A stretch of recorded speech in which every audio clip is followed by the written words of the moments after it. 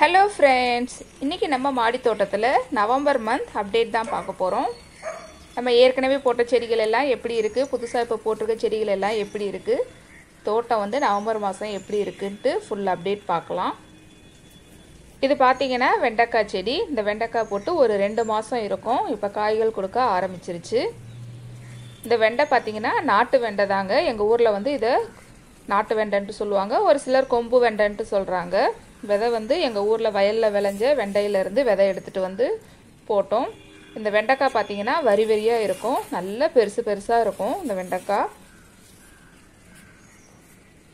இந்த பழமும் இருக்குது காட்டுறேன் இருங்க.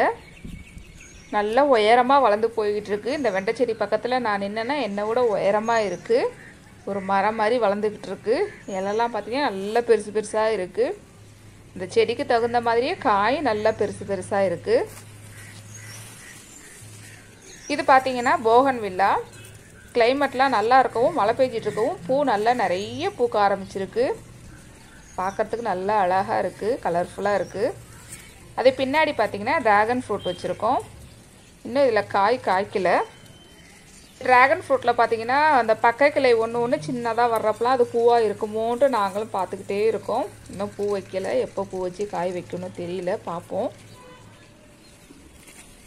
அடுத்தது பார்த்தீங்கன்னா கத்திரிக்காய் செடி இது. நம்ம ஜூன் மாதம் போட்ட கத்திரிக்காய் செடியும் காய் கொடுத்துக்கிட்டு இருக்கு இப்போ.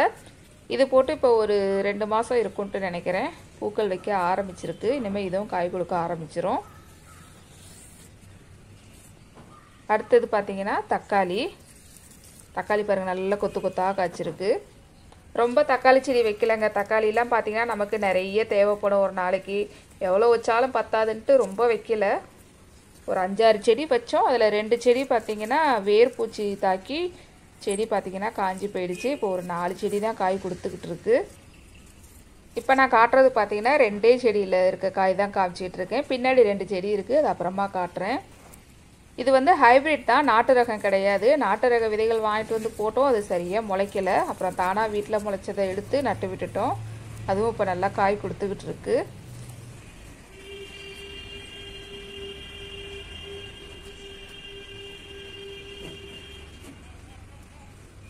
அடுத்ததாக புதுசாக இது சொரக்கொடி ஒன்று போட்டிருக்கோம். பழைய கொடி வந்து காய்கள் காய்ச்சி முடிய போகிற ஸ்டேஜில் இருக்குது இது வந்து பழைய கொடி.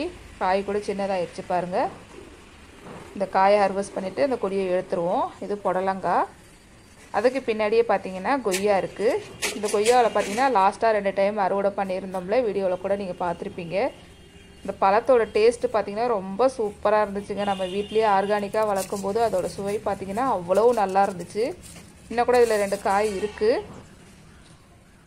இது பாருங்கள் இங்கே ஒரு காய் இருக்குது அடுத்ததாக இது பார்த்தீங்கன்னா வாட்டர் ஆப்பிள் இப்போ தான் இதுவும் வச்சுருக்கோம். வச்சு எவ்வளோ நாள் ஆகுதுன்னு எனக்கு சரியாக ஞாபகம் இல்லை. செடி பார்த்திங்கன்னா நல்லா வளர்ந்துக்கிட்டு இருக்கு. எப்போ காய் காய்க்கும்ட்டு தெரியல. வெயிட் பண்ணி பார்ப்போம் காய்ச்சதுன்னா நான் வீடியோ போடுறேன். அதுக்கு பக்கத்துலேயே இருக்கிறதும் கத்திரிக்காய் செடி தான் இதுவும் இப்போ புதுசாக வச்சுருக்கோம். பூக்கள் பூக்க ஆரம்பிச்சிருக்கு. இதுவும் கத்திரிக்காய் செடி தான் நல்லாவே வளர்ந்துக்கிட்டு இருக்கு. கத்திரிக்காய் செடி புது செடிகள் எல்லாம். பக்கத்தில் பார்த்தீங்கன்னா இது வந்து பீர்க்கங்காய் கொடி போட்டிருக்கோம். இது பார்த்திங்கன்னா சொரக்கொடி போட்டிருக்கோம். புதுசாக வந்து போட்டிருக்கோம். அடுத்து வந்து இதுவும் தக்காளி தான். இதுலேயும் இப்போ பூ பிஞ்சு காயெல்லாம் இருக்குது ஏற்கனவே ரெண்டு செடி காமிச்சல அதில் வந்து காய் நல்லா பெருசு பெருசாக இருந்துச்சு. இதில் இப்போ தான் பூக்கள் வச்சு குட்டி குட்டியாக பிஞ்சு இருக்குது இது பாருங்கள் குட்டியாக இருக்குது பிஞ்செல்லாம். அதுக்கு பக்கத்தில் இருக்கிறது பார்த்திங்கன்னா செடி முருங்கை. செடி முருங்கை எப்படி வளர்க்குறது மாடி தோட்டத்தில்ன்ட்டு நம்ம வீடியோ கூட கொடுத்துருக்கோம்.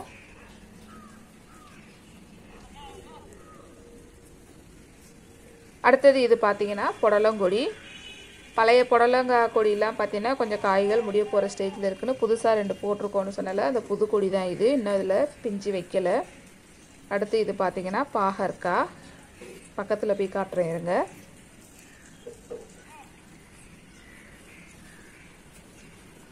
நிறைய பாகற்காய் இருக்குதுங்க. இந்த இடத்துலக்கு பாகற்காய் புடலங்காய் எல்லாம் நிறைய இருக்குது நல்லா சூப்பராக இருக்குது பாருங்கள் பாகற்காய்.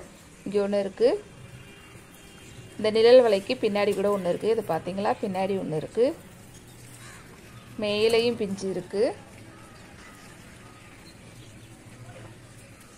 இது பார்த்தீங்கன்னா பீர்க்கங்காய். இது வரி போடலை. பாருங்கள் இங்கே ஒரு பாகற்காய் பிஞ்சு இருக்குது கீழே கூட ஒரு காய் இருக்குது பாருங்கள் நடத்தி இங்கே ஒரு புடலங்காய் இருக்குது பாகற்காய். நிறைய புடலங்காய் பாகற்காய் பீர்க்கங்காய்லாம் நமக்கு காய்கள் கொடுத்துக்கிட்டு இருக்கு இப்போ.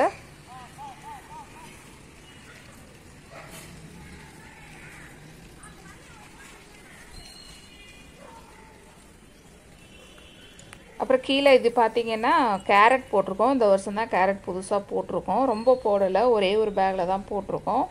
நல்லா வந்துச்சுன்னா அடுத்த வருஷம் நிறைய போட்டுக்கலான்ட்டு ஒன்று தான் போட்டிருக்கோம் அந்த வருஷம். இது பார்த்திங்கன்னா பிரண்டை. ஒரு சின்ன ஒரு நாலு லிட்டர் பெயிண்ட் பாக்கெட்டில் தான் வச்சுருக்கோம். நல்லா வளருது அதுலேயே. அடுத்ததாக பார்த்திங்கன்னா காராமணி. காராமணியும் நமக்கு இப்போ காய்கள் நல்லா கொடுத்துக்கிட்டு இருக்குது இந்த காய் இருக்குது பாருங்கள் ஹர்வஸ்ட் பண்ணிடணும் இன்றைக்கி இதை. கொடி பார்த்திங்கன்னா நல்லா சூப்பராக வளர்ந்துக்கிட்டு இருக்குது காராமணி கொடி கூட. இன்னும் கூட புதுசாக இருக்குது காராமணி கொடி. அதையும் காட்டுறேன் அப்புறமா.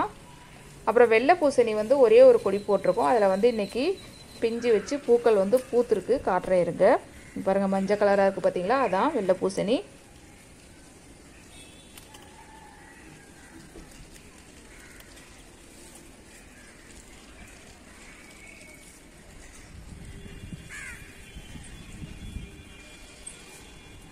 அப்புறம் புடலாம் காயில் பார்த்தீங்கன்னா நிறைய பிஞ்சுகள் இருக்குது காட்டுறேருங்க இதை பாருங்கள் இது வந்து வெள்ளை புடலை. இன்னும் கூட பிஞ்சு நிறைய இருக்குது இது பாருங்கள் அங்கே மேலே ஒரு பிஞ்சு இருக்குது இங்கே ஒரு பிஞ்சு இருக்குது இன்னும் மேலே கூட பிஞ்சு இருக்குது புடலங்காய் பார்த்திங்கன்னா இந்த வருஷம் நமக்கு நல்ல அறுவடை கொடுத்துக்கிட்டுருக்குங்க நம்ம காய்கள் வந்து கடையிலலாம் வாங்குறதே இல்லை புடலங்காலாம். வீட்லேயே நமக்கு வார வாரம் ஒரு கிலோ அளவில் கூட கிடைக்குது. அடுத்தது பார்த்தீங்கன்னா குண்டு சுரக்காய். குண்டு சுரக்காய் போட்டிருக்கோம். இன்னும் காய் வரலன்ட்டு சொல்லிட்டு இருந்தேன்ல. அதில் வந்து இப்போ ஒரு காய் வச்சுருக்கு. நல்லா சூப்பராக இருக்குது பாருங்கள் பார்க்குறதுக்கு அழகாக இருக்குது அடுத்து பார்த்தீங்கன்னா இதுவும் புடலங்காய் தான். வரி புடலை. நல்லா வரிசையாக இருக்குது பாருங்கள் ஒரே கொடியில் தான் இருக்குது இந்த மூணு புடலங்காயும். அதுக்கு பக்கத்துலேயே பார்த்தீங்கன்னா பீர்க்கங்காய். பீர்க்கங்காயில் கூட காய் இருக்குது இந்த கொடியிலையும். இந்த பாருங்கள் இங்கே ஒன்று இருக்குது கீழே ஒன்று இருக்குது காட்டுற இருங்க அதையும்.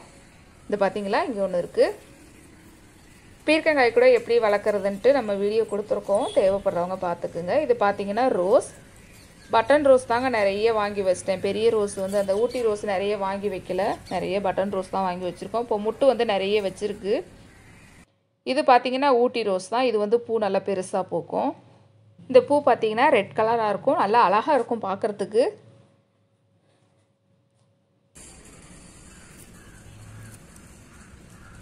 நம்ம மாடி தோட்டத்தில் பார்த்தீங்கன்னா ரோஸ் செடி வந்து அதிகம் கிடையாது. ஒரு ஆறு ஏழு செடி தான் இருக்கும்.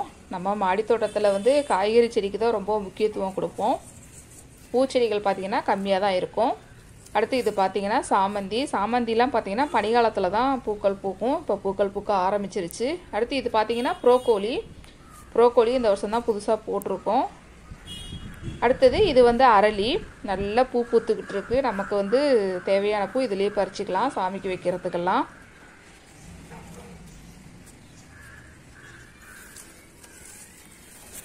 அடுத்தது இது பார்த்தீங்கன்னா சப்போட்டா. காய் பார்த்தீங்கன்னா அப்படியே இருக்குதுங்க. எப்போ தான் பெருசாகும்ன்ட்டு தெரியல. நிறைய பூ வச்சுது ஆனால் எல்லாம் கொட்டிடுச்சு. அப்புறம் பார்த்தீங்கன்னா கோவக்காய் இருக்குது இது பாருங்கள் காய் இருக்குது பார்த்தீங்களா கோவக்காய்?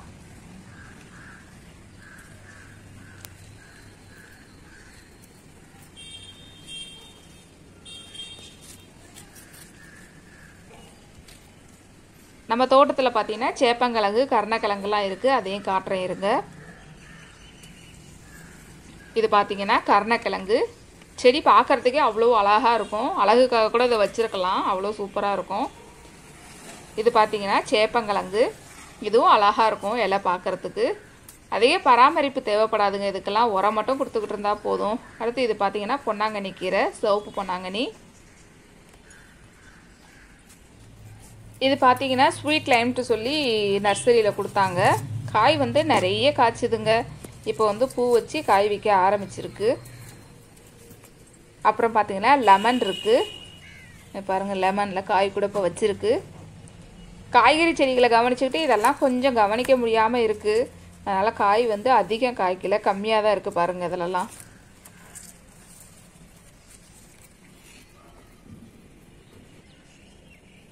இது பார்த்தீங்கன்னா broccoli fifteen into fifteen grow பேக்கில் ரெண்டே ரெண்டு ப்ரோக்கோலி வச்சுருக்கோம். இது பார்த்தீங்கன்னா புதுசாக வச்சுருக்க கத்திரிக்காய் செடி. இது வந்து எங்கள் ஊரில் கொழிஞ்சு பழன்ட்டு சொல்லுவாங்க. இதில் வந்து ரெண்டே ரெண்டு காய் வச்சுருக்கு பாருங்கள் ஆனால் இது புளிப்பாக இருக்கும். எங்கள் ஊரில் இருக்கிறதெல்லாம் இது எப்படி இருக்குன்ட்டு தெரியல. நர்சரியில் வாங்கிட்டு வந்து வச்சுருக்கோம்.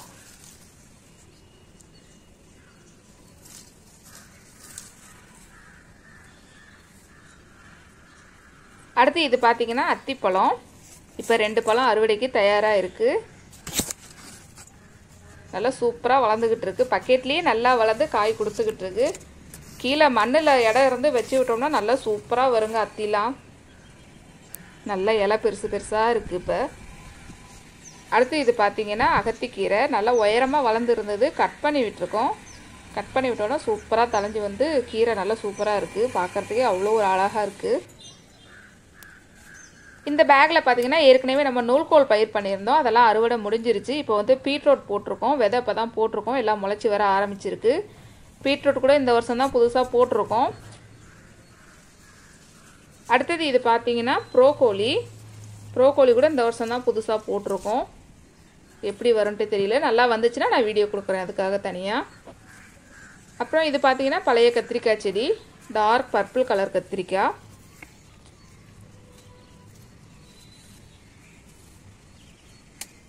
அப்புறம் இது பார்த்தீங்கன்னா பச்சை மிளகாய் இது புதுசாக இப்போ ஒரு பச்சை மிளகாய் வச்சுருக்கோம். இது பக்கத்தில் கத்திரிக்காய் செடி. இது வந்து பழைய பச்சை மிளகாய் செடி. காய் கொடுத்துக்கிட்டு இருக்கு நமக்கு. இன்னொரு செடி கூட இருக்குது காட்டுறேன் இருங்க. இது பார்த்திங்கன்னா தக்காளி. கீழே இதுவும் பச்சை மிளகாய் செடி தான் இதில் வந்து இப்போ பூக்கள் வைக்க ஆரம்பிச்சிருக்கு. இதெல்லாம் பார்த்தீங்கன்னா வரி கத்திரிக்காய். இதெல்லாம் நம்ம ஜூன் மாதமே போட்டது. இன்னும் நமக்கு நல்லா காய் கொடுத்துக்கிட்டு இருக்கு. நிறைய காய் இப்போ இருக்குது காட்டுற இருங்க எல்லாத்தையும். செடி நல்லா பசுமையாக இருக்குது எந்த ஒரு நோய் தாக்குதலும் இல்லை. நல்லாவே வந்துக்கிட்டு இருக்கு.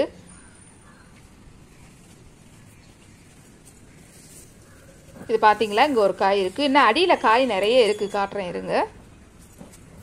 இது பாருங்கள் இங்கே ஒரு காய் இருக்குது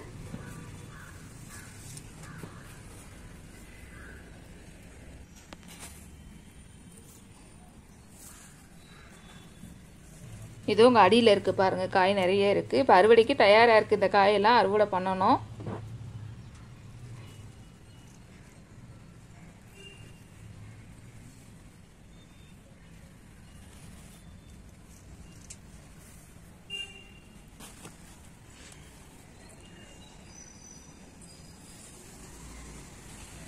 அப்புறம் இது பார்த்தீங்கன்னா இதுவும் வெண்டைக்காய் தான். இப்போ நமக்கு வந்து அறுவடை கொடுத்துக்கிட்டு இருக்கு.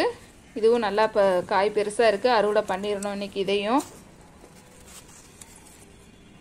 இந்த ஒரு காய் பார்த்தீங்கன்னா விதைக்காக விட்டுருக்கேன்.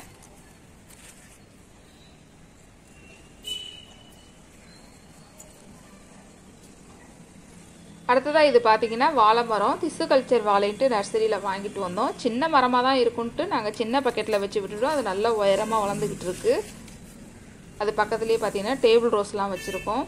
இப்போ வந்து பூக்கள் கொஞ்சம் ஓயிற ஸ்டேஜ் டேபிள் ரோஸ்லலாம் அதிக பூக்கள் இன்றைக்கி இல்லை. அடுத்து இது பார்த்திங்கன்னா லெமன் பிளான்ட்டு இதில் கூட காய் இருக்குது பாருங்கள் இப்போ. இதுவும் வந்து ப்ரோக்கோலி தான். பக்கத்தில் இருக்கிறது வந்து கொத்தமல்லி. இது வந்து நூல்கோல். இப்போ அறுவடைக்கு தயாராக இருக்குது நூல்கோலில். அதுக்கு பக்கத்துலேயே பார்த்தீங்கன்னா பீட்ரூட் போட்டிருக்கோம். பீட்ரூட்டில் இப்போ சின்னதாக காய் வந்திருக்கு. இந்த பார்த்தீங்களா சின்னதாக இருக்குது ஆனால் நல்லா உருண்டையாக வரல. நீளமாக இருக்கிற மாதிரி இருக்குது காய் பார்க்குறதுக்கு இதுவும் நூல்கோல் சின்னதாக இருக்கிறது. இதுவும் பார்த்தீங்கன்னா பீட்ரூட் போட்டிருக்கோம். பக்கத்தில் இதுவும் பார்த்தீங்கன்னா நூல்கோல் தான். இதில் வந்து காய் சின்னதாக இருக்குது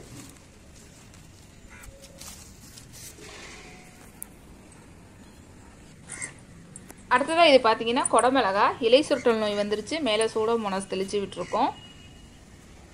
அதுக்கு பக்கத்துலேயே பார்த்தீங்கன்னா காராமணி இருக்குது என் கணவர் வந்து இந்த விதை வாங்கிட்டு வரும்போது கொடி பீன்ஸுன்ட்டு வாங்கிட்டு வந்தாங்க.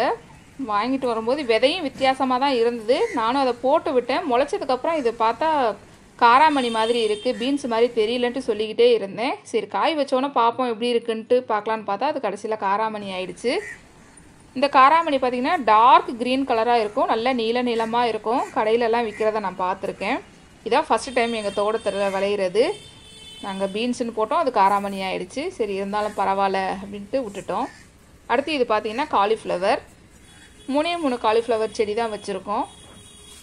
அதுக்கு பக்கத்துலேயே பார்த்தீங்கன்னா கோஸ் வச்சுருக்கோம். கோஸ் கூட மூணு தான் வச்சுருக்கோம். இப்போ கோஸ் சின்னதாக வர ஆரம்பிச்சிருச்சு.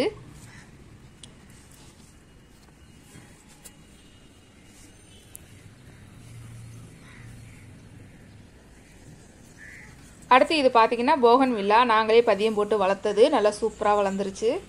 கற்றாழை. இது பார்த்தீங்கன்னா பாகற்காய். விதை முளைக்காது. ஒரு சில நேரம் பாகற்காய் விதை. அதனால் அஞ்சாறு விதையை போட்டுவிட்டேன் எல்லாமே முளைச்சிருச்சு. இது பார்த்தீங்கன்னா செடியை வர. இதுவும் வந்து பாகற்காய் தான். பக்கத்துலேயே ஒரு காலிஃப்ளவர் இருக்குது நம்ம மாடி தோட்டத்தில் பார்த்தீங்கன்னா புதுசாக வந்து விதைகள் எல்லாம் கொஞ்சம் போட்டிருக்கோம். அதெல்லாம் காட்டலை. அப்புறம் பார்த்திங்கன்னா நித்திய மல்லி நித்திய கல்யாணி செம்பருத்தி மருதாணி அலமெண்டா இதெல்லாம் இருக்குது அதை கூட காட்டலை. அதெல்லாம் காட்டினேனே வீடியோ ரொம்ப லென்த்தாக போகும்ட்டு தான் காட்டலை. ஓகே ஃப்ரெண்ட்ஸ் இன்றைக்கி நவம்பர் மாதம். அப்டேட் பார்த்தோம். இந்த வீடியோ உங்களுக்கு பிடிச்சிருந்ததுன்னா லைக் பண்ணுங்கள் உங்கள் நண்பர்களுக்கு ஷேர் பண்ணுங்கள் தொடர்ந்து வீடியோக்கள் பார்க்குறதுக்கு மறக்காமல் சேனலை சப்ஸ்கிரைப் பண்ணுங்கள் நன்றி.